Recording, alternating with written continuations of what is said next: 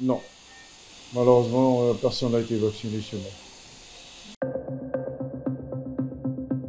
Vous avez juste de l'oxygène.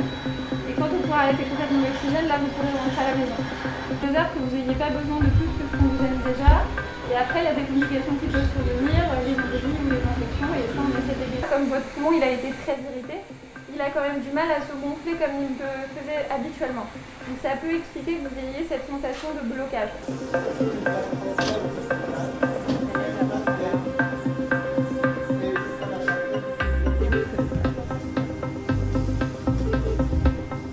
C'est 98% de malades non vaccinés. Là, euh, là sur les 6 patients euh, du service, il y en a un qui est vacciné et 5 non vaccinés. Et c'est le seul vacciné qu'on ait eu depuis les deux derniers mois.